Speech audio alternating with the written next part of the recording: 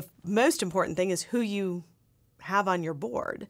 Because obviously, if you're bringing in a large fund versus an individual investor, um, expectations are probably different. But I think the, the biggest key is setting expectations up front. So, as we went out and raised capital, and in our case, we raised capital from folks who had funds, but we asked them to invest as individuals. And I did that intentionally because I kind of knew what the life cycle of the company's evolution was going to be, and I, I didn't necessarily want it to become a mismatch for a fund's life.